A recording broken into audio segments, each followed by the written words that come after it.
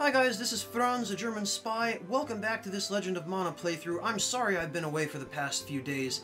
Things have been incredibly busy this past weekend. Uh, I do not remember what episode we're on now anymore because it's been a few days, and a few days is enough for me to forget that sort of thing. But I'm back, and we're back, and Bud and Lisa are back, and now we're going to resume this playthrough. So, let me try and figure out where I left off. Uh, whoops. Damn it. Uh, these controls. I forgot these controls in only a few days. That's pretty depressing. Alright, so we still have to help Bud meet the Wisdoms. That's a long-term quest. We need to open up a lot more areas before we can finish that.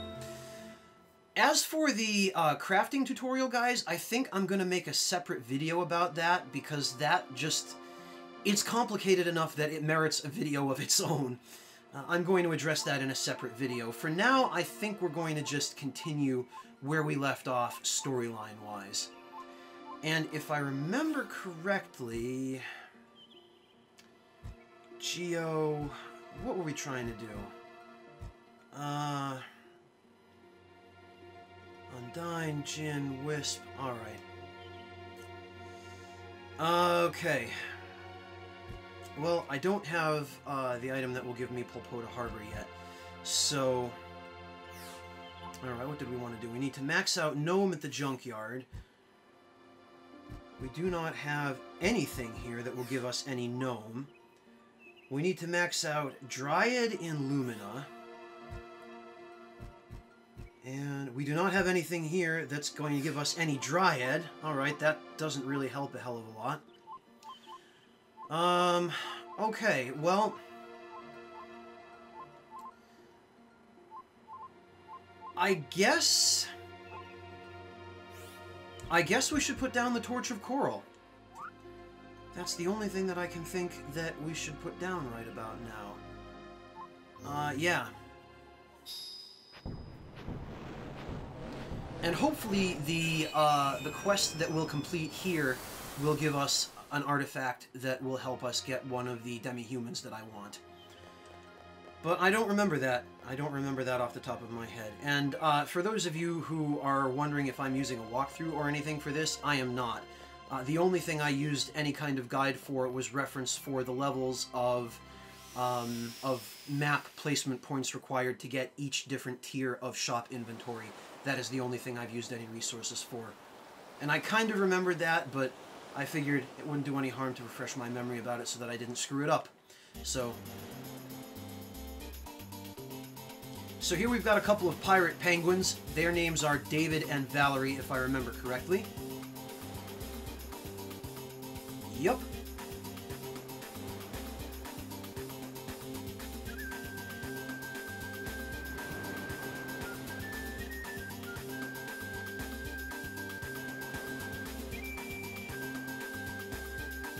As a matter of fact, we're going to get to squish and step on those cute little crabs.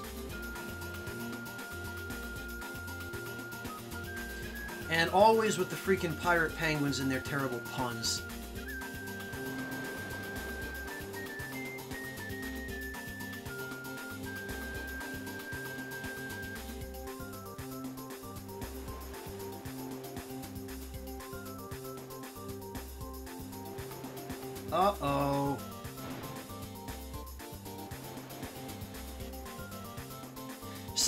The way David words this question just seems completely inappropriate and out of place for the rest of this conversation.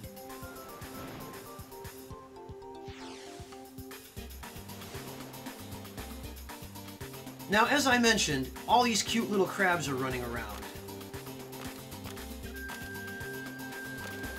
And being the terrible, rotten, nasty, evil person that I am, I'm gonna crush him.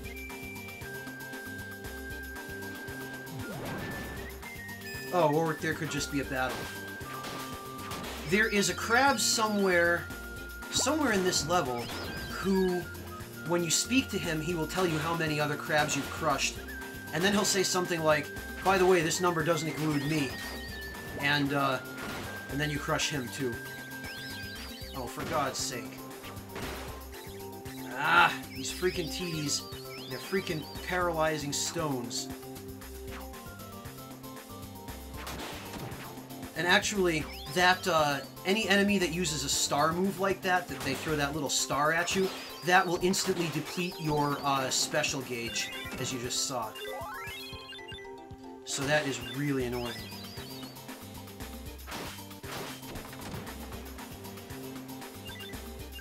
Now I can't see the experience crystals. Oh, chocobos! I guess this is our first encounter with chocobos. And I believe actually uh, the only way to get a pet chocobo is to have a, I think a Final Fantasy VIII or a, uh, some other Squaresoft um, save game on your memory card, or on your virtual memory card in this case.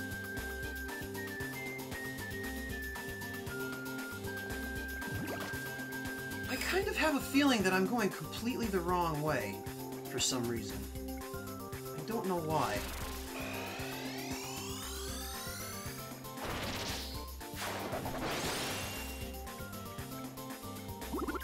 I believe that the direction I'm going will take me to the Tropicallo boss room. I think. But I think that's where I want to go for this quest, isn't it? Or not? I don't even remember, guys. I'm sorry. If this results in a little bit more running around than we need to do, I apologize in advance. But in the meantime, at least we get to beat up some poor defenseless little fish.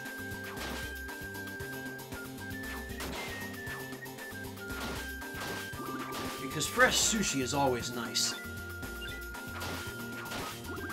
Although, I don't know about... Ah, my god!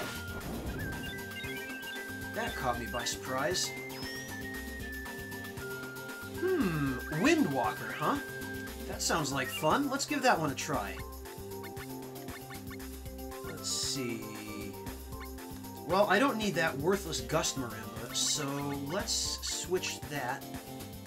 Short range, medium damage. Alright, well, couldn't be any worse than the ones I already have.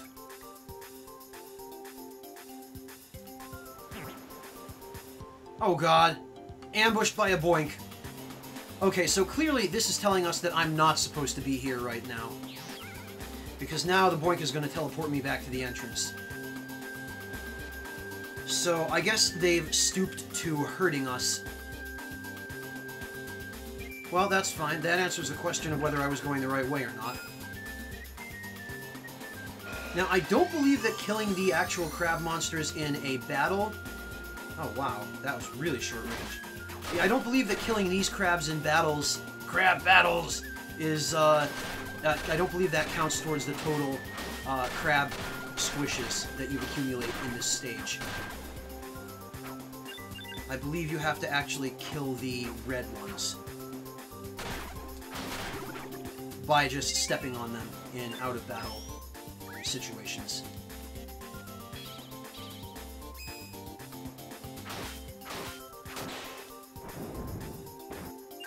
Oh, right, I forgot. I had some nifty battle abilities equipped, didn't I?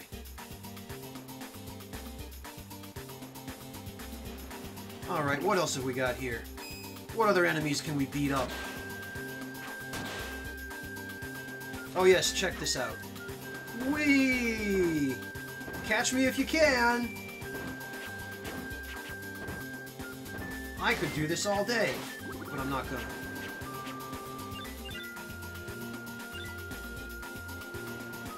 What do I have for circle? Oh, I have tackle. I think? Yeah, tackle.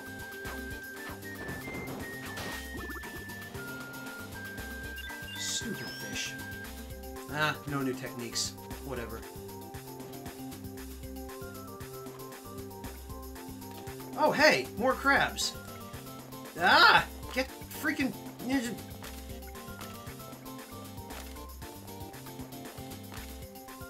Yeah, I'm completely screwing up the crab crushing segments. You get a ranking based on how many crabs you squish.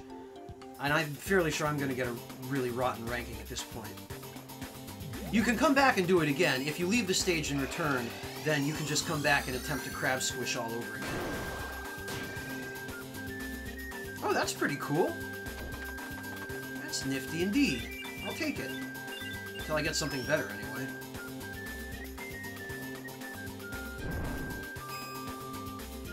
Oh no, bats. I burn you, bats. Ooh, candy. More candy! My god, I totally don't need any of that candy. But it sure is delicious.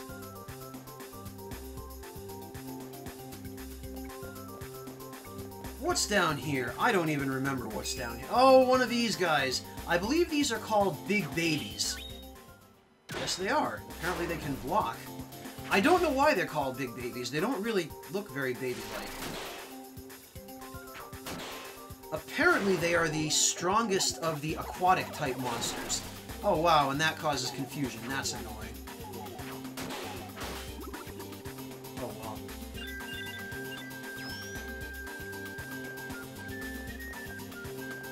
Alright, let's move on. Ah, crabs! Kill them! Squish them! Crush them!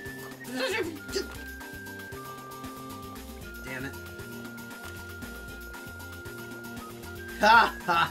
Look at this idiot. Freaking out, clipping through the wall. I crush you. Um, okay. So I think out here is the... Or not. I thought it was out that cave door. I, I thought out here was the crab that will, uh, that will give you your evil crab crusher ranking. Ah! Jeez. You know what?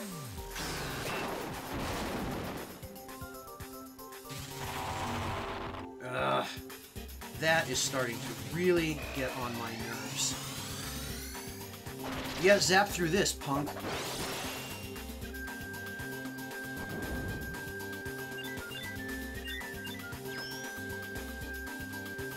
Alright, what's over here? More crabs! Freaking crabs, I'll steam you and eat your claws. Unsurprisingly, crabs are not very weak against the fire.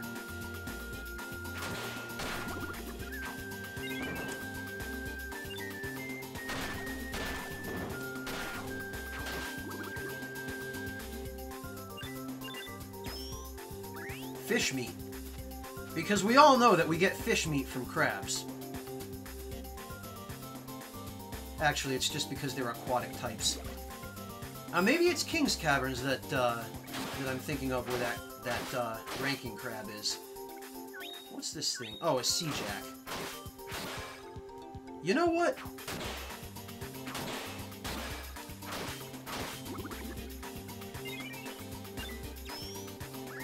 More fish meat.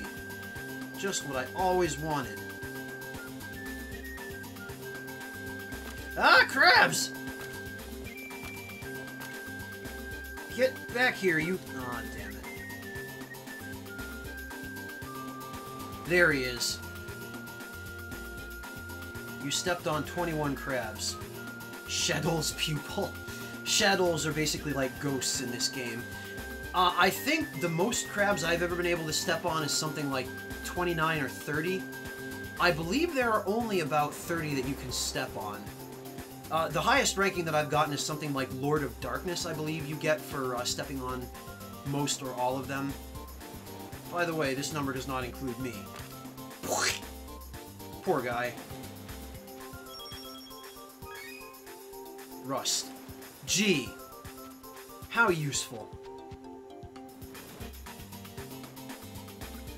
So that's that. I guess that's all there is to the crab crushing quest. Came in from up top, so I guess... Oh. Well, that's convenient. That led us right to the boss, apparently. Oh, God. Oh, yes, yes. If any of you have ever played any other Legend of Mana, not Legend of Mana, but any other Seiken Densetsu games, this boss may be familiar to you. The same as the Mantis Ant may be familiar to you. Uh, this guy appears... Full Metal Hugger, I guess it's... That's what he's called in this game. He's called something else, I think, in the other games.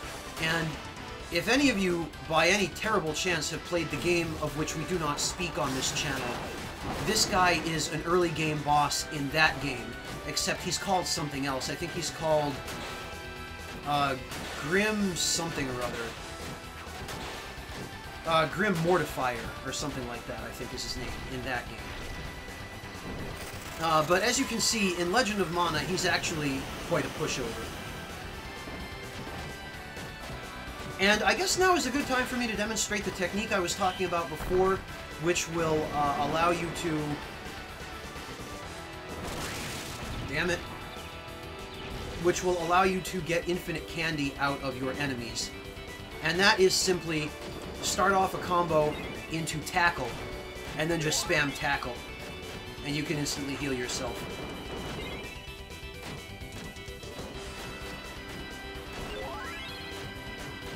And you can basically just get infinite candy that way.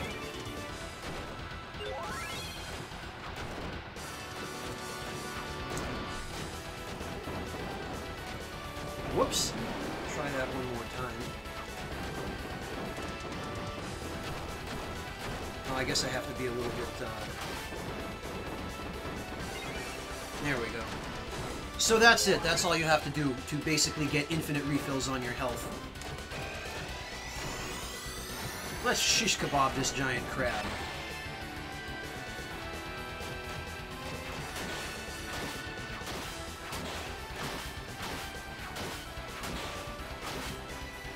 that's all there is to it. Once again, total pushover this boss.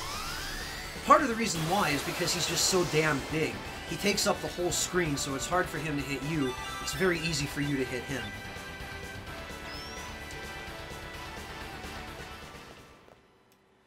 But yet, there's no explanation for what he's doing there or what relation he has to David and Valerie, other than that we now end up on Queen's Beach.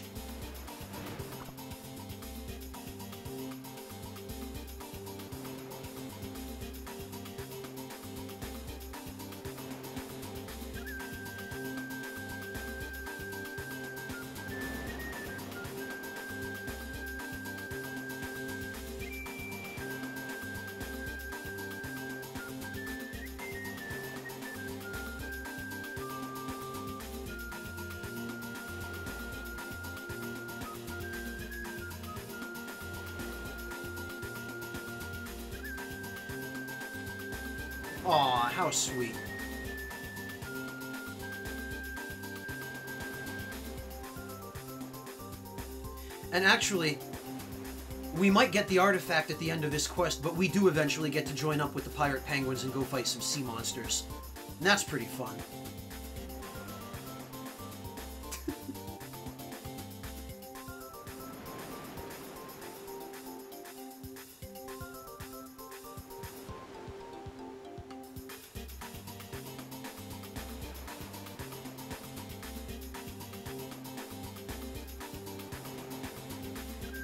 How he manages to not see through this.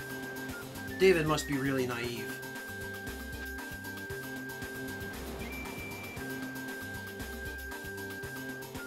Now that's a rotten way to tell him to leave.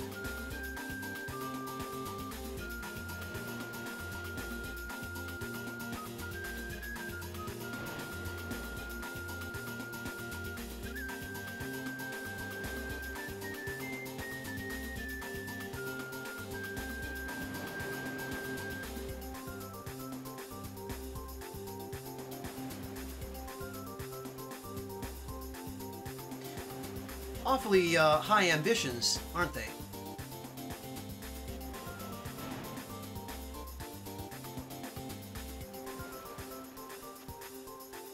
Oh, we have control again. Okay, well...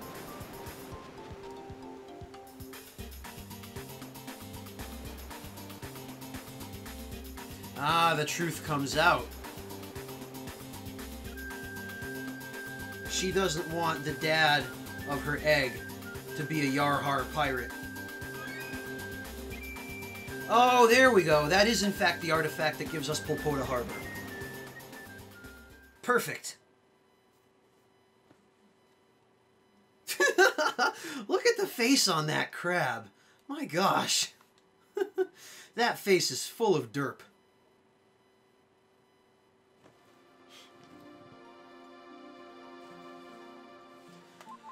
Well, let's go back and report to Little Cactus and tell him all about that sappy little love story that we just got dragged into. And in the meantime... Oh, it won't let me access my artifacts wheel until I've gotten to my destination. And Polpota does not give us either one of the essences that we need either. Either, either. Whatever.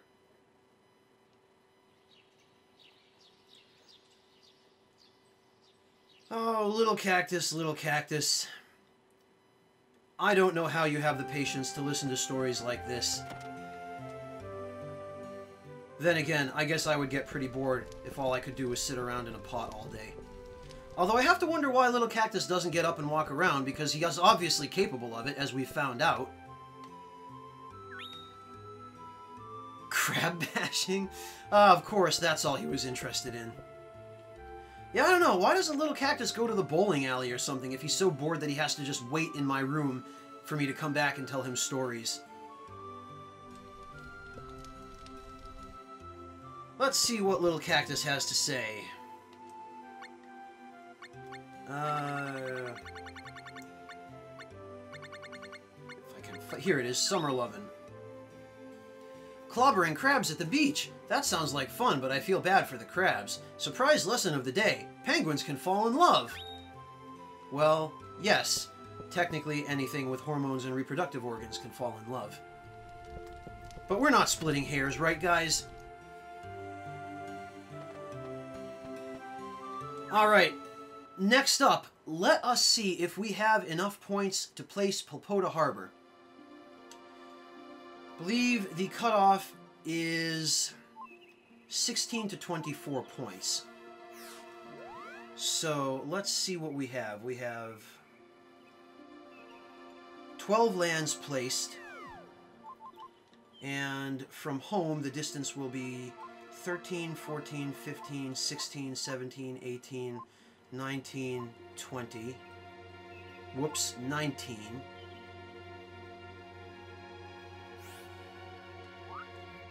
So yes, it seems that we will have enough points, because we are over the threshold of 16. And then our final threshold is at 25 points and above. And that is going to mean we will have to place Geo uh, over here for starters, but much later in the game. So let's put down Polpota Harbor.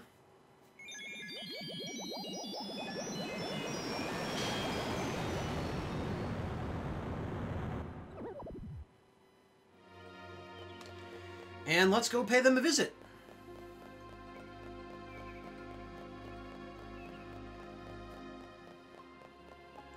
And I'm thinking, guys, that at some point I'm going to I'm going to need to uh, farm for some materials to do some crafting because I'm going to want at least a better sword, and I would like to take care of that at the same time as I handle the tutorial for um, for crafting.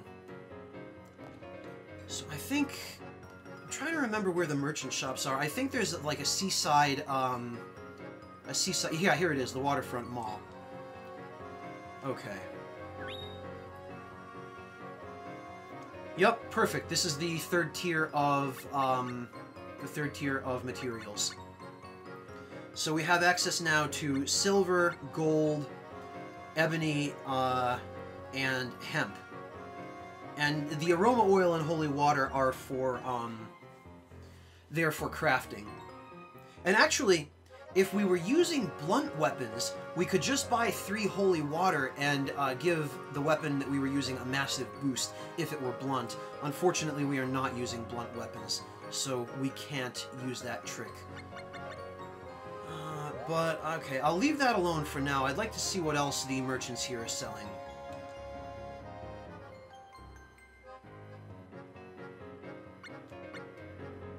Oh, yes, this is part of the Jewel Thief's quest. We're not going to be able to properly start that until we have access to Geo. Unfortunately, so... Um... We'll say because of a thief. Oh, no, it's a ghost, I guess. Oh, hey, look who it is! There's no ghost. Flamshy! Ghosts? Ah, someone's just pulling a prank. And here we're introduced to Flamshy the Mermaid. Well, pleased to meet you too.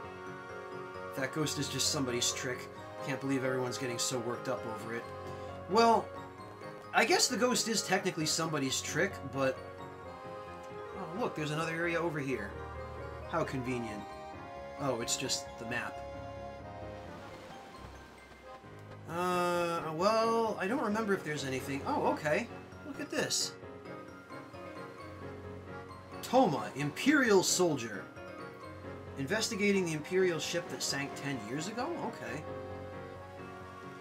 Now, this is interesting because at no point in this entire game, at least as far as I remember, are we ever informed what empire he's a part of, where he's from, or exactly why he's here. We only know that he's here investigating an Imperial ship that sank, and his role in the rest of the game is just he has a tiny bit of dialogue in um, in one of the quests that happens here in Polpota. And I think, oh yes, okay, good, we can. But of course there's nothing over here. This is just, I guess, the outskirts of Polpota.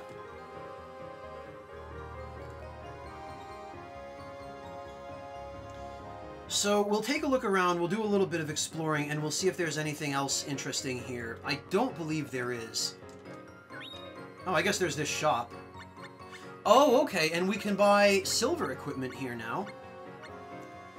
The thing is, though, we can buy silver equipment, but we can also buy gold. Uh, no, and I'm not talking about, like, buying gold as in for World of Warcraft, no. Um, freaking real money trade piece of crap jerk. And, oh! And we can also apparently buy Granz steel um, musical instruments. This is interesting.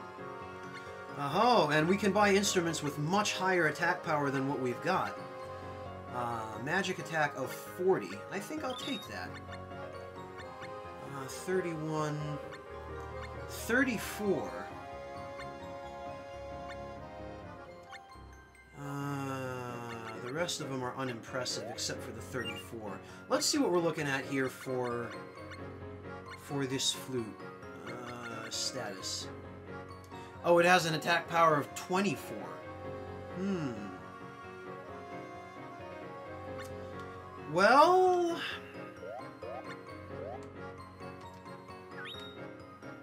Well, yeah. We're definitely switching that then magic.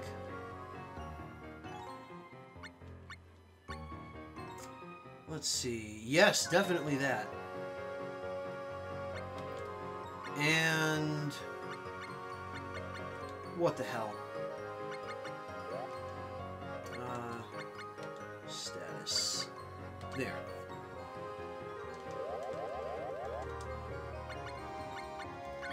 Come on, guys. I just have to.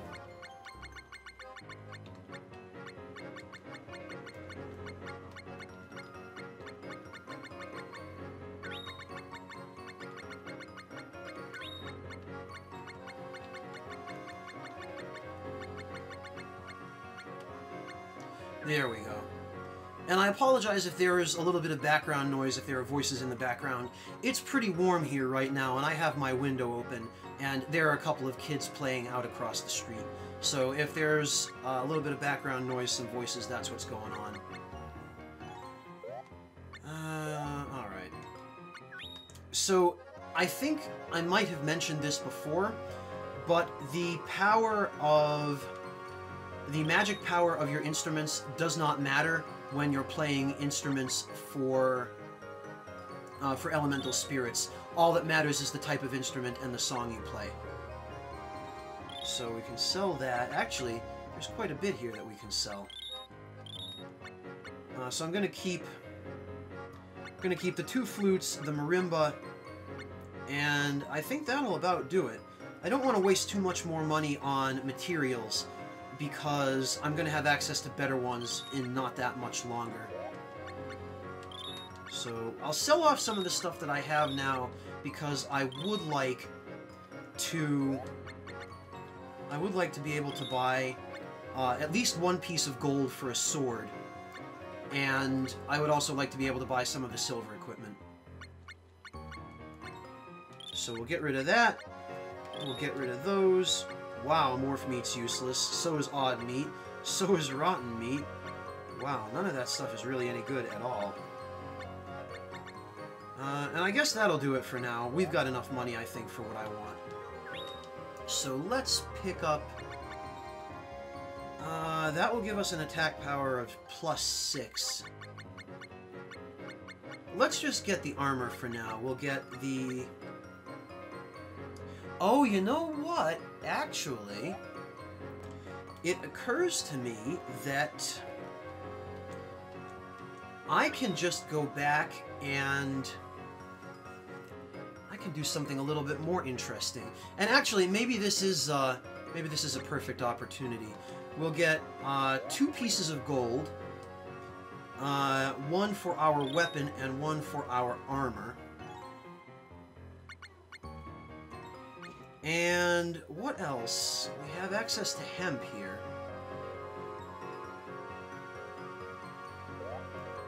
Uh, I didn't just sell that gator skin, did I? I think I did. Yeah, I did. Ah, whatever. Alright, well, we have access to fabric anyway. Uh, we will buy one piece of hemp and I guess that'll do it. Alright, so I guess I'll give you guys a bit of a crash course, just a very brief demonstration of crafting. Because I'm going to have to go back home and make myself some equipment out of these things. So let's take care of that now. I'll just show you guys briefly, and then I'll do a more detailed kind of tutorial in a separate video. And those of you who are interested in learning a little bit more about crafting, uh, we can I can um, I can do a a full crafting process at length. Uh, so we'll do that. We'll do that for starters. Now remember, uh, the Wendel Silver two-handed sword that I was looking at in Polpota was going to give us an attack power total of 43. Compare that to what we get from making our own two-handed sword out of the Vizel Gold. So let's do that now.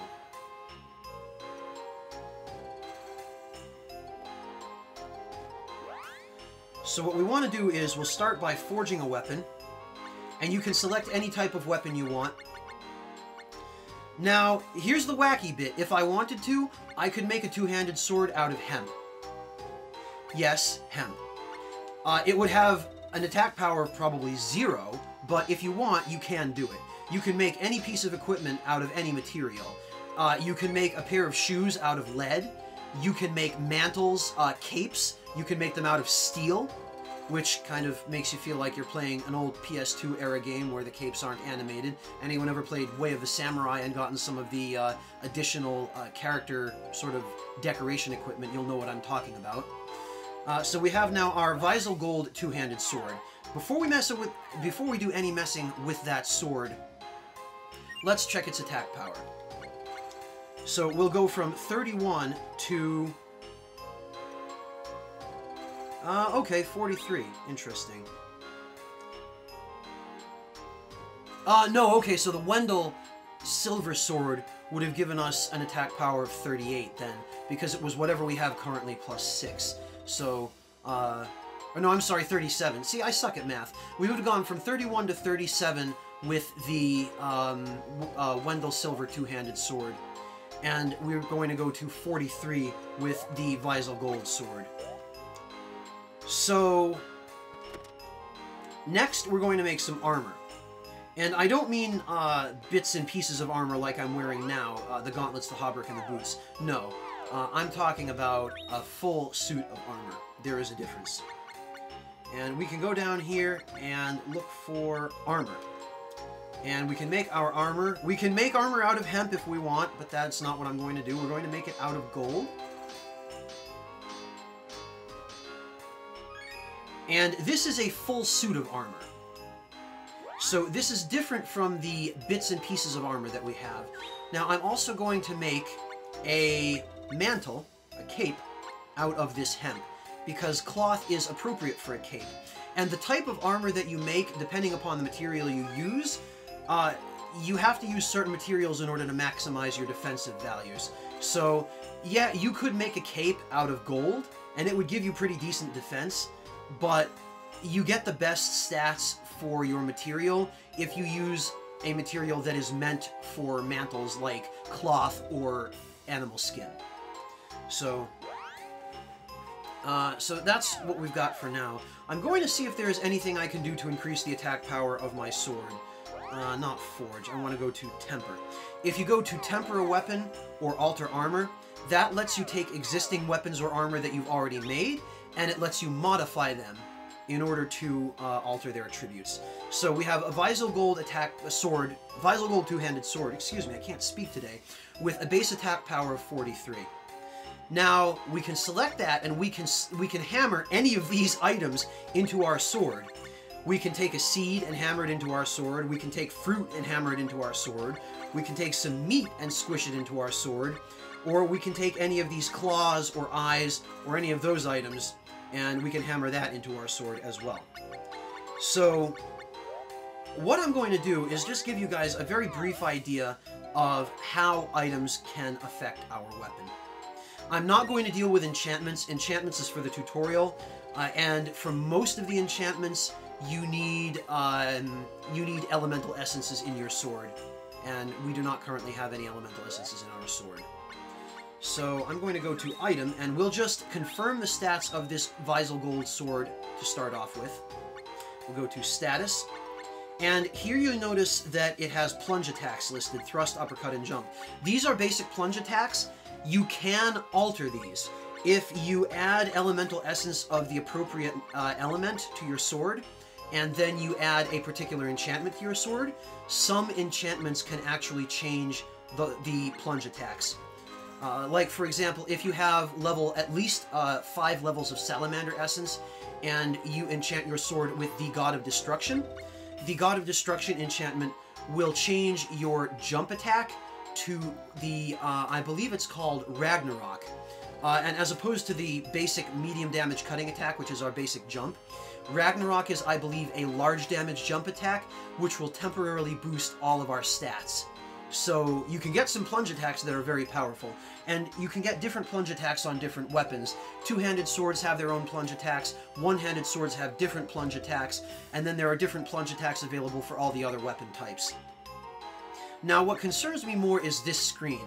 Mystic Powers refers to our, uh, our elemental, not elemental, uh, to our enchantments, and you can have three of them. There's also a hidden slot, uh, but I'll deal with that in the tutorial. This is um, stat bonuses.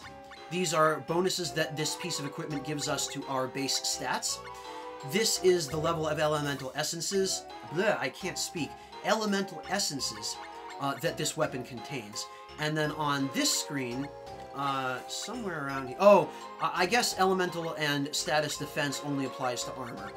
So this is basically the sword's elemental attack. If we were to raise salamander essence, then our sword would become fire elemental, and it would behave uh, accordingly against enemies that are weak and strong against fire. If, however, you raise all of the elemental essences of, of, your weapon, or if your weapon contains all of the essences against which your target is both weak and strong, they cancel each other out and they simply provide an attack boost without any elemental effects on your target. So it's beneficial to max, or at least boost as far as you can, all of the elemental essences in your weapon so that you don't encounter an enemy that your weapon is weak against. Uh, and that is that. The bonuses here, uh, if it says plus 5 or plus 10, that number is directly applied to your stats on your character status screen, except it's not shown. Uh, that it, the stat bonus addition is not reflected on this screen. Uh, it's just implied. So if that gives you guys an indication of just the beginnings of how complicated the weapon crafting system is in this game. Uh, I'm not going to talk any more about it in this episode because, again, the details are for uh, another video, a separate video.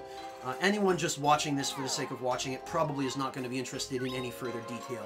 So that's just a taste to give you guys an idea of what crafting is like in this game. Now, I believe that if we hammer this, uh, where is it?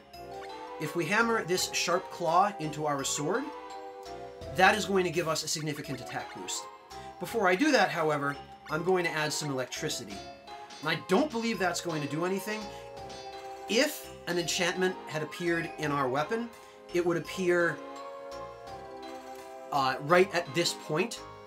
You would see the uh, the card with the enchantment appear on the screen and then um, disappear into our weapon. So the electricity does not add any enchantment. And we will go back and we will take a look at our sword's status screen and confirm for certain that uh, it did not make a change. See, the attack power has not increased. Plunge attacks are the same. No increase to elemental essences. So without the appropriate levels of elemental essence, electricity will not do anything for us. It works that way for most of the enchantments. In order to get a particular enchantment in your weapon or armor, you have to actually have enough elemental essence of the required elements in order for that enchantment to appear. Like, for example, I mentioned the God of Destruction. God of Destruction will not appear in your weapon unless you have a minimum of, I believe, level 5 in Salamander, which is Fire Essence. Uh, and if you do not have sufficient Fire Essence, and you attempt to add the materials that would otherwise have produced the God of Destruction, nothing will happen. Or else you'll get a pixie. Uh, and I'll explain about pixies in the tutorial video. Pixies are annoying as hell, and they taint your weapon. They're impossible to get rid of. So, now that I've shown you what happens when you add something to your weapon that does not have an effect, I will now show you what happens when you do add something. So let's add the... Oh, the Sharp Claw.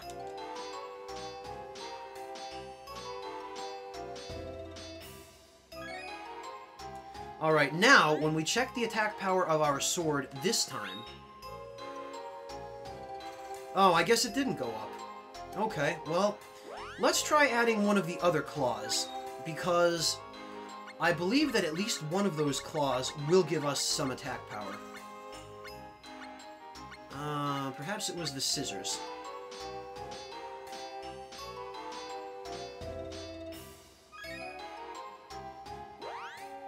And as you can imagine, with the length of the tempering animations, oh, no boost.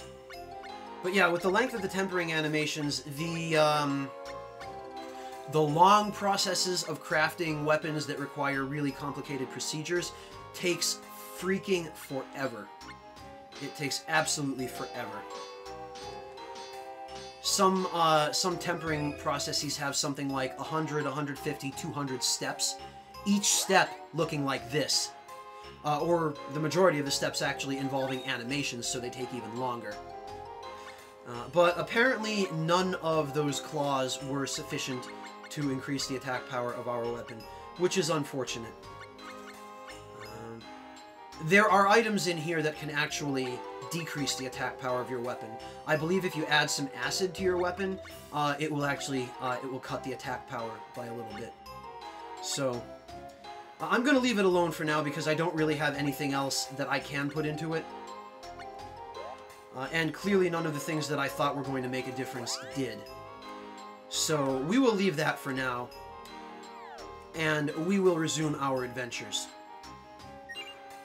Before we do, however, it would not be fitting to walk around with all this nice new gold equipment without doing it a little bit of uh, justice. Alright, I think I'm just going to cut that bit out. I'm not going to make you guys sit through me renaming this thing. And now, we will do the same for our armor.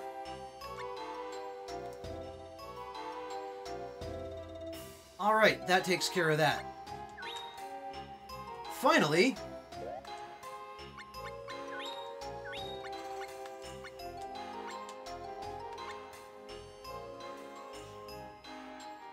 Alright, we're all set. All that's left to do now is equip them. So let's do that. Alright, we have our golden sword. Now, pay attention to the defensive values as they change. Um, so let's see. Strike is 8, slash is 11, and thrust is 11. So, let's, uh, let's remove that, remove that, remove that. Now, just from the armor alone, we're getting 14, 14, 14, and 2. So if you look at the armor as compared to the Hauberk, the armor is heavier and uh, it provides much better defense. However, I believe there is actually a a movement penalty in battle. And you'll notice that with the armor equipped, we can't have any armor pieces equipped because we're already wearing armor on our entire body. Although unfortunately that, that does not show uh, on our character model, sadly. Uh, but we will now add the cape to this mess, and the cape gives us a little bit more magic defense. And this will now uh, put us at a total of 15 defense across the board with 5 magic defense, which is vastly better than what we had before. And we even have a slot for something else, like a ring or a pendant. So we'll deal with that when we come to it. But, matter of fact, I think maybe now I can go sell all of my, um, all of my, um, Lorant Silver stuff and I'll have enough for one more piece of gold, which will then be enough for me to make a ring or a pendant.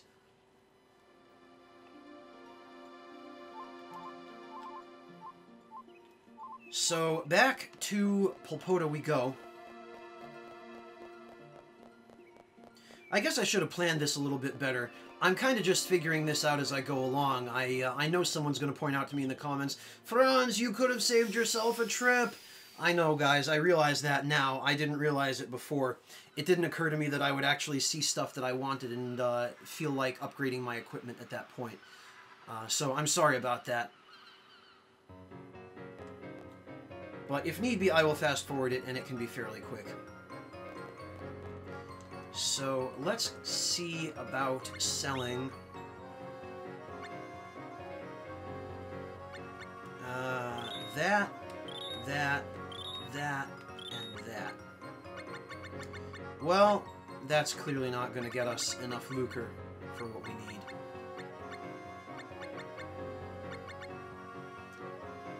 Uh, we need another 1400 which I don't think all the items we have are going to get us 1400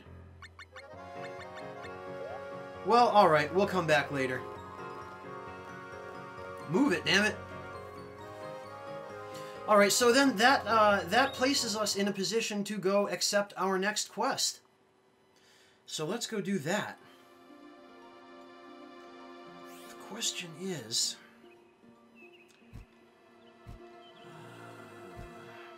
Now we have plenty of things here that will give us Salamander. Hmm...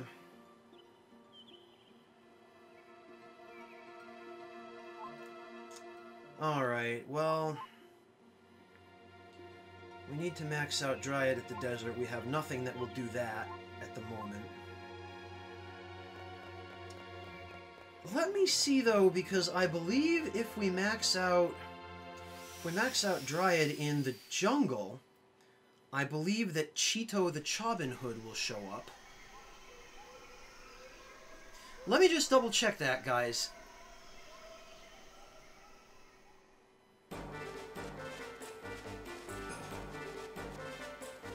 not there, clearly.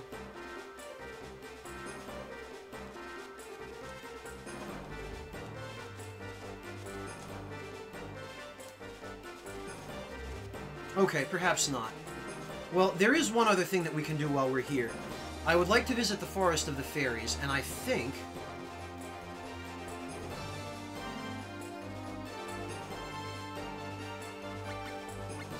Mm, I think the Forested Ruins is where I want to go. I'd like to go, um, yeah, this is it. I'd like to go see if I can get a demon egg from, from the forest.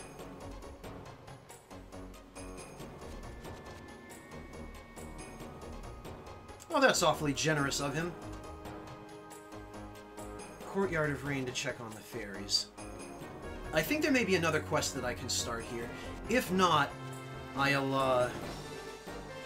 I'll go elsewhere. Oh, nope, I guess not. We can't get in here until we start the, uh, Dragoon quest arc. Alright, well, we'll try the Courtyard of Rain, and if we can't start any quests that way, we will, uh, we will leave and I will put down the Underworld, the Trembling Spoon, and we can start the, uh, the Dragoon's Quest. Ah, oh, damn it. This is not where I want it to be. Although, as you guys can see, this new sword is proving quite a bit better than the old one. Bugmeat and Grave Dirt. Oh, there she is.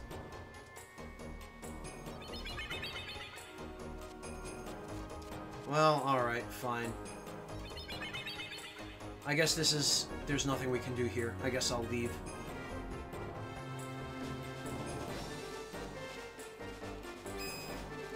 Blasted freaking Tomato Man.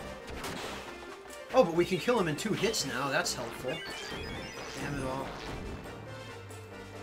Oh, and I was able to apparently completely laugh off the attack he was using, which was uh, destroying me earlier. The first time we came through here. That might be because my levels are much higher now, though. Well, here we are back here. I guess we'll just have to leave.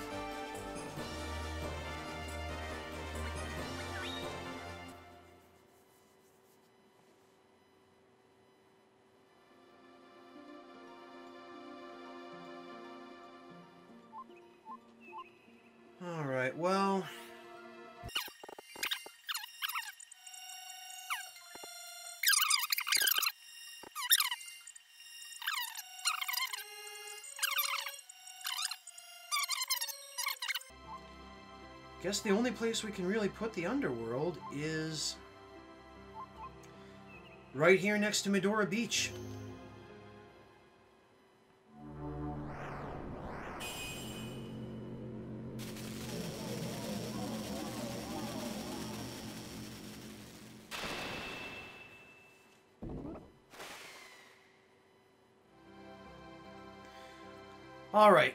I think I may actually, uh, I may actually edit out all of the uh, sitting around uh, scratching my head that I did to figure out where to put the trembling spoon, because that was a good long time, and I suspect you guys probably aren't interested in uh, just staring at the screen while I scratch my head and try and figure out what to do.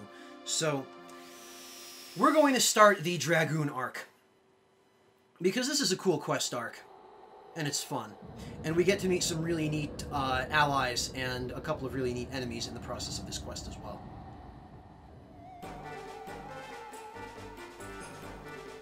And you see that little spirit make its way to the tombstone. That is luring us in. And as you guys will find out, the minute we touch the tombstone, the minute we're lured over there by that innocent-looking soul, this happens. Warrior, I shall test your strength.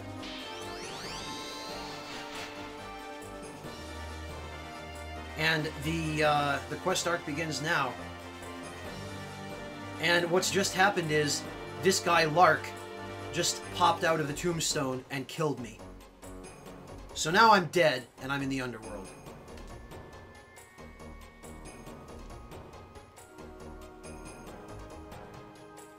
Yeah, nice to meet you, asshole.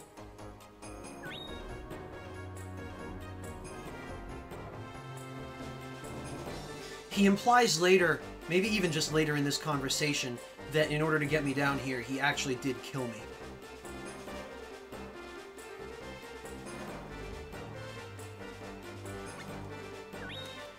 You don't really have a choice here. Because if you tell him no, he says something to the effect that uh, if they leave you alone in your uh, semi-dead state, uh, you'll just vanish, you'll fade away. Now, if you take a look at Lark, Lark is actually... He has some good equipment, but he's actually a very powerful, um, a very powerful ally, in spite of the fact that he's 10 levels below me. Uh, he has a pretty decent synchro, which allows us to do more damage to dragons, which we're going to need later, because he's going to accompany us on a bunch of dragon slaying quests. But you'll notice that um, he has some pretty decent techniques. He's got uh, an area attack, which does minor damage, a major damage, and he actually has, he's I think the only character that has an extreme damage technique equipped on him from the start, and then he has his special technique. So he's actually, he's quite strong. And for that reason, a lot of people like him. Uh, so I guess this is a dead end. I do not remember my way around here at all. So I'm probably going to be doing quite a bit of wandering around. These guys down here are called Shadows, and they came up before in this episode. This is what they look like. Hey, Newly Dead, watch out for that guy. He's talking about Lark. We're Shadows. You're Shadows. The world's Shadows. The Underworld Shadows. This guy's awfully cheerful. Huh? What's on your mind? What's a shadow? And yeah, here he tells us that we'll be one of them too if we end up staying down here in our current state.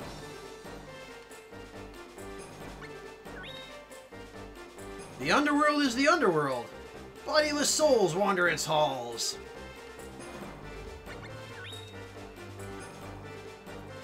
That's the register of everyone who's gonna die. I bet your name was on it too. That makes me feel a hell of a lot better. Ah, this guy doesn't have anything else to say. Alright, whatever. I'd like to comment briefly on um, the artist's rendition of the underworld here. If you look around, you'll see some uh, some stereotypical looking things like skulls built into the walls and evil looking glowing green eyes and uh, flames that are impossible colors unless you're burning special types of salt.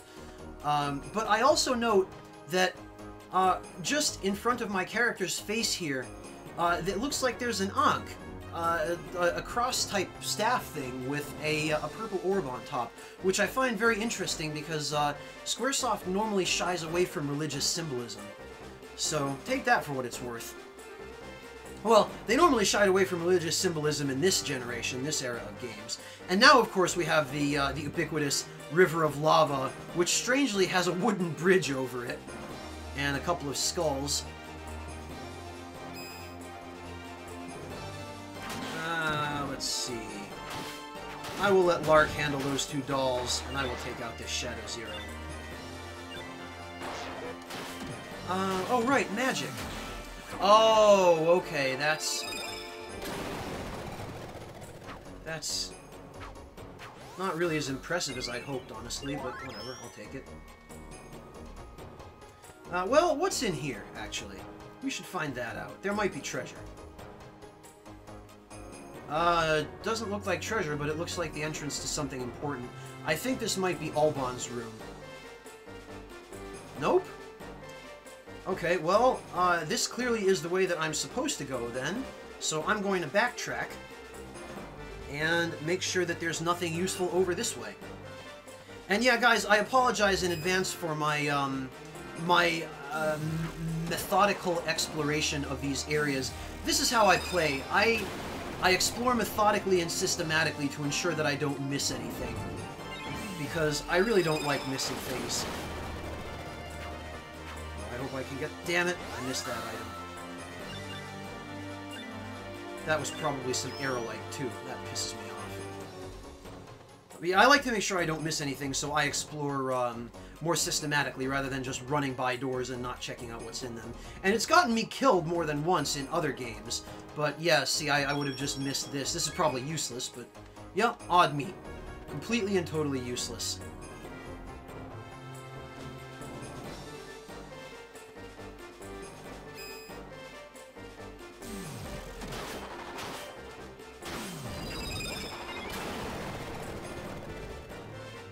Oh, good. Now maybe I'll, uh... There!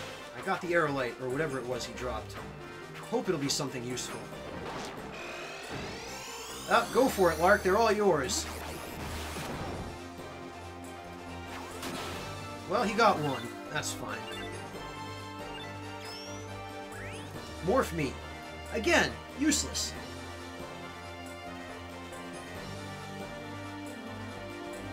Alright, so we're gonna go the way we're supposed to go. Unfortunately, it does seem like they uh, they repeated a lot of the um, a lot of the uh, the areas down here. They used the uh, the same area a lot of uh, a lot of additional times. Oh, so Larc is now telling us where we need to go. At least that's good. Well, this clearly is the way we're supposed to go. So let's go figure out what was the other way.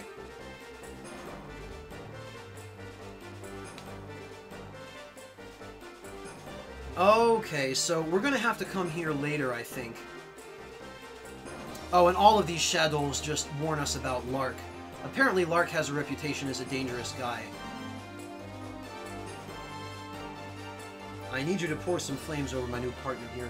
What that does, I guess, is it protects your spirit from fading away. No way, Jose. Ain't nobody gonna receive no baptism of flame without Olbohn's permission. Alright, so I, I guess that's why we have to go talk to Olbohn. Man, these guys sure are uncooperative.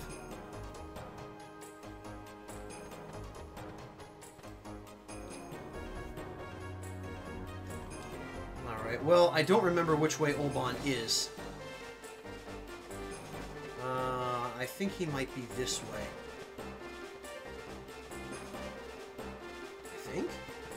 Think there is eventually a door there, but I don't remember that for a fact.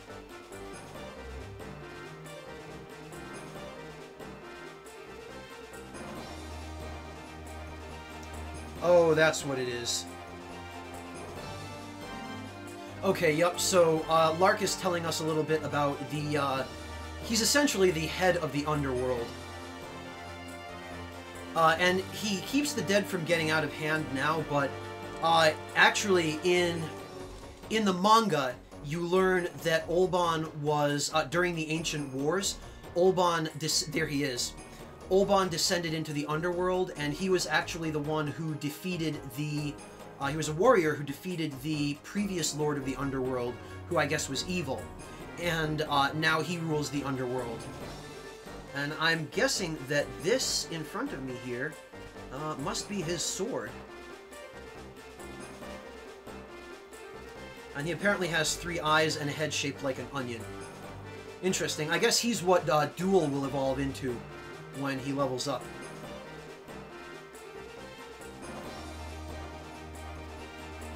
And he apparently knows Larc.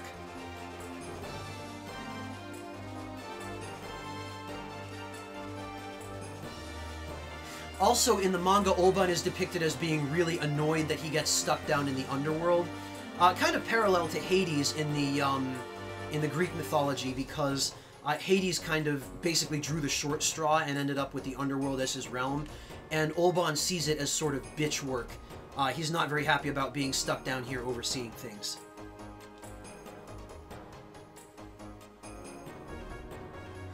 Olbohn also implies here that uh, Larc has brought other people before me. And apparently he's also well aware of Drakonis' plans and tells us right off the bat, the very first part of the very first quest in this story arc, that Drakonis is going to be our, uh, our evil nemesis. and he's willing to help out if we had a spot for him. So Olbohn isn't all good. He's one of the wisdoms, he was a hero in the Ancient Wars, but he's not all good. And Larc calls him right out on it.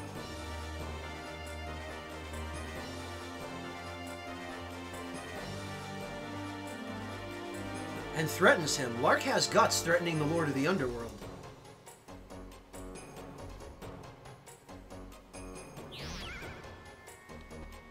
Oh, well, thanks. That's awfully hospitable of you.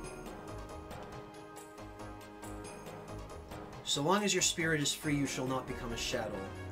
But I will fade away.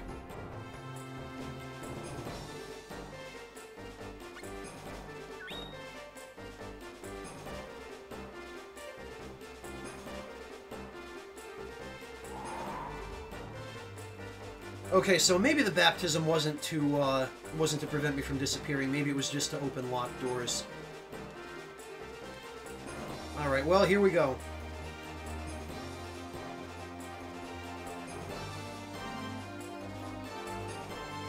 Here you go, Daddy-O. This Shadow is such a hipster. That looked mildly painful. Our master? What are you talking about? Our master? I didn't agree to shit.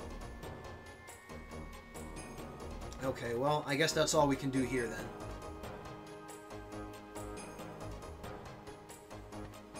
Alright, so that's Olbohn's chamber fairly sure... Okay, yeah. Alright, we haven't gone this way. Let's see what's this way. Another hallway. And there was, in fact, a door there. Or maybe this is a different area. I don't even remember. There are a number of rooms around here like this that just have treasure. And if you look on the wall there above the bed, there's a, uh, a big battle axe. So I don't know who's living around. Well, not living. I don't know who's dead down here, but you guys get what I mean. I don't know what kinds of people are hanging out in this part of the underworld. But it's clearly not for people who were good in life, that's for sure. Okay, I take that back. There's an angel feather down here. Alright, uh, explain that one to me, guys.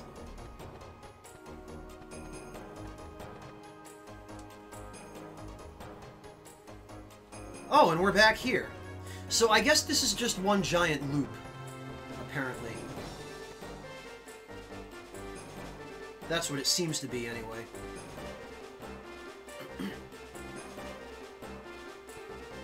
Uh, okay, this must be the way that we need to go, because that leads down.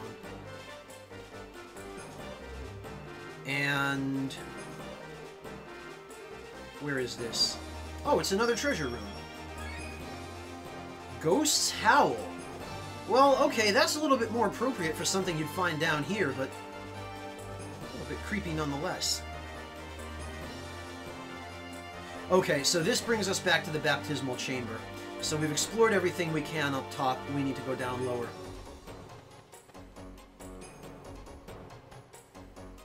I don't know why I even bother exploring most of the areas in this game because in the vast majority of cases, all it'll do is uh, give you some worthless items.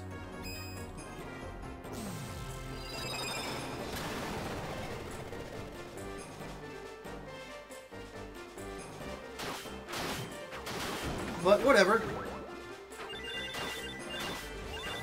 Demi-humans invariably drop lots of experience, and that's fine with me. Uh, well, I guess there's only one way we can go through here.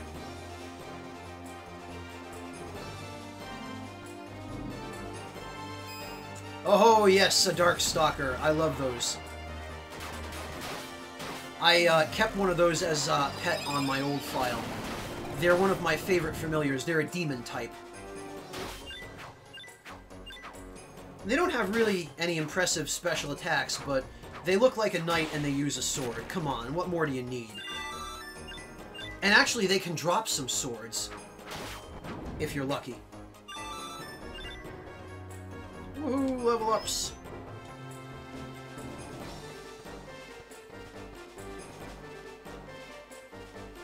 Worthy enough to serve his master. Alright, well, I guess I have no choice.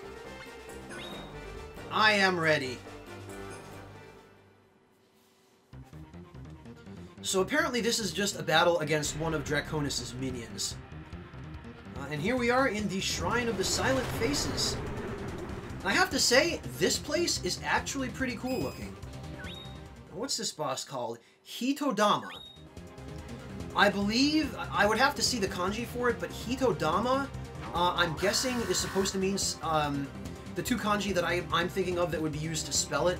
Um, they mean person and orb, or person and uh, jade, something like that.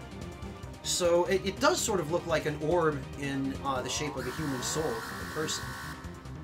Uh, but apparently what Hitodama, uh, Hitodama's gimmick is that he, uh, he will uh, he will possess one of these four faces or more, and then they'll use these random attacks, and we just have to uh, attack him when he pops out and becomes vulnerable. But at this rate, I don't think I'm going to have terribly much trouble. Although I do seem to recall some of the attacks these faces use can be tough to dodge.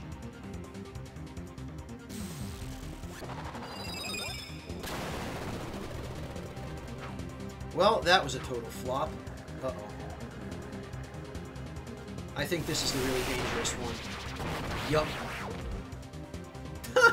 he got Larc. Idiot. Oh, and he can evade. Very interesting. I believe Hitodama is actually the only enemy in this entire game who uses the evade ability.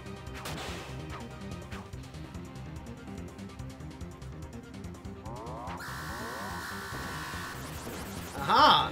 What are you gonna do about that?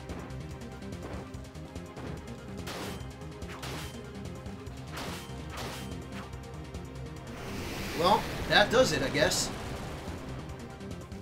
Larc, don't you even freaking think about stealing my freaking experience. Oh, okay.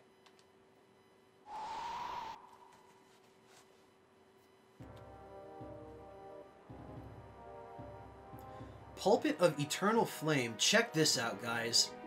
How badass is this area? Now, off behind us, you'll see Drakonis' castle. And we're going to learn a little bit more about Drakonis' castle and how it ended up down here very shortly. And that is Drakonis. And although he looks like this, Drakonis is actually a dragon. He is a huge, evil red dragon. And he's going to explain to us why he looks like this. But, I mean, look at him. He looks like the Sultan from Aladdin, except evil. He actually, even in his human form, he looks pretty badass.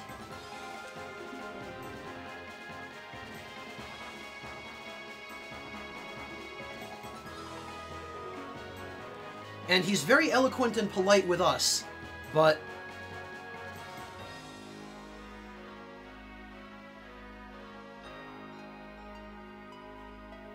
He wants us to return the magical powers stolen from him by three dragons.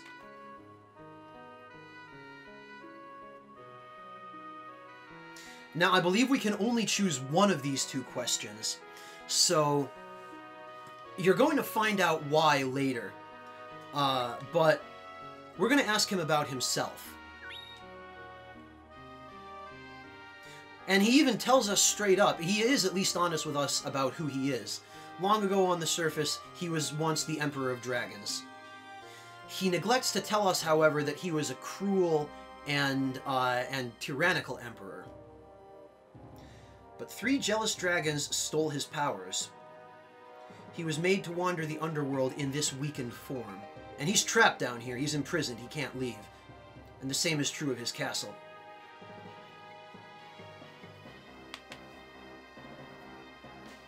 So he would go kill them himself, but he can't because he's stuck down here.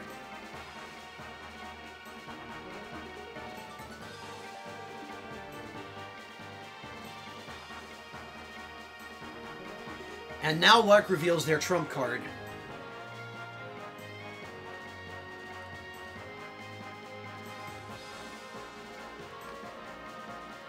And that sucks. We don't want that.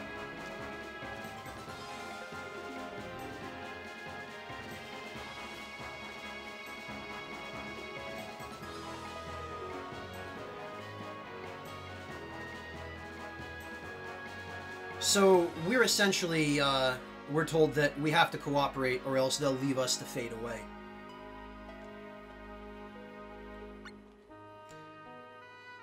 So, we don't have a hell of a lot of choice but to accept. I think if you reject, they just tell you, fine, do what you want, but if you change your mind about fading away, come back and talk to us.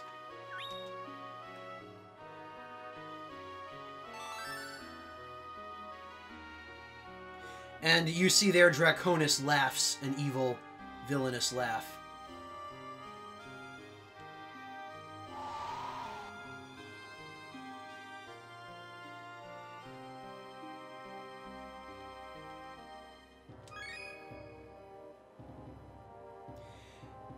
And we would have gotten this whether we had agreed to a contract with him or not, because this is going to give us the next area in this quest arc.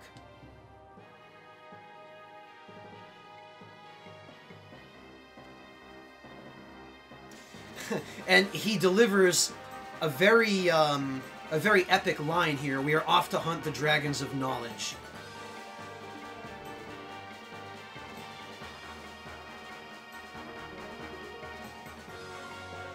If you do not like what I'm doing, you're free to do as you will.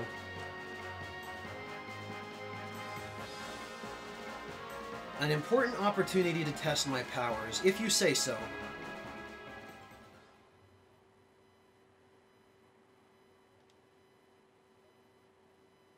So that's that. Now, I believe this places us at well over an hour. I don't expect to get a lot of complaints from everybody, but...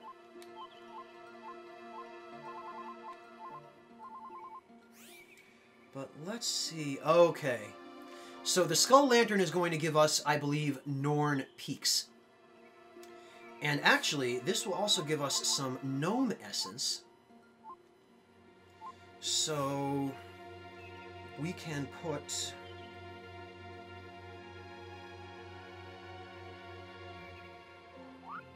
We can put Norn Peaks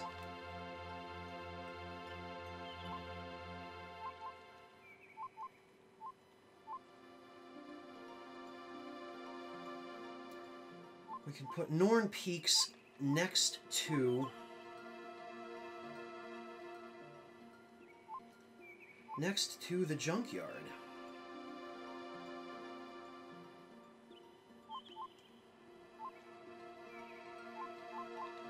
Yes, that will suffice.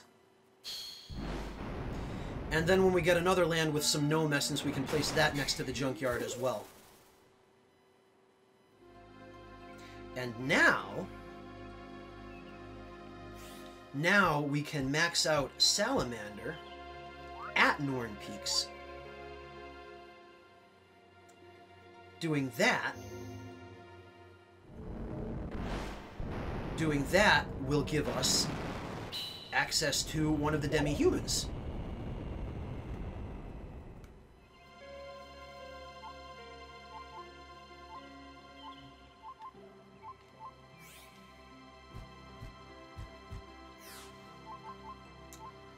So, let me see.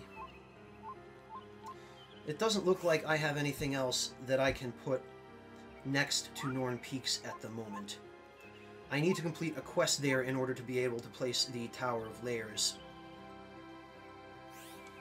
But we will deal with that next episode. This is enough for now.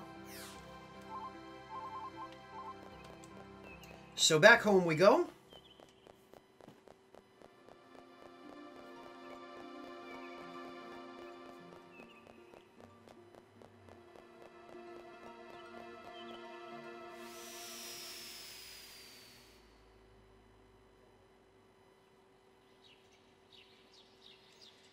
And we will speak with Little Cactus.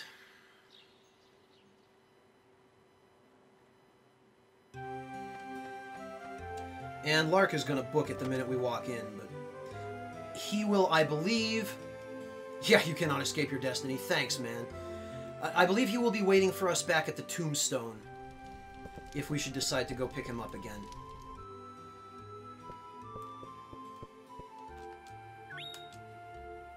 Down to Underworld. Yeah, pretty much. That just about sums it up.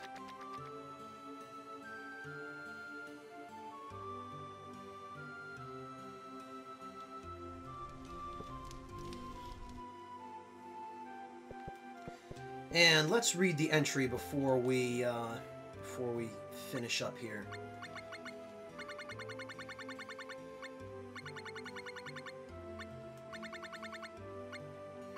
Fallen Emperor. A dog-faced dragoon came out and took my master downstairs when master touched a tombstone. How am I supposed to picture this? It's really tough. I'm guessing here that this is implying that the main character kind of, uh, kind of dumbs down his stories for Little Cactus. Because I get the impression Little Cactus is kind of like he has the mind of a child. or he's sort of on a childlike level of maturity and, and maybe cognitive level. So I get the impression that your, your character doesn't want to tell Little Cactus that he got killed and dragged down to hell. So he sort of um, he sort of sugarcoats it when he tells Little Cactus about it. So that's that's there's something at the same time cute and perverse about that. Uh, so let's see. You guys will see that I am rotating my saves. So I am not messing around with this. I am rotating my saves so that I do not have to go back and do anything all over again. And with that, thank you all for joining me, and I will see you guys next time. And uh, I guess next time I'm going to make the the crafting tutorial, maybe, if I feel like going to gather materials. Uh, I'll figure that out later. But yeah, I'll see you guys next time, whatever next time looks like.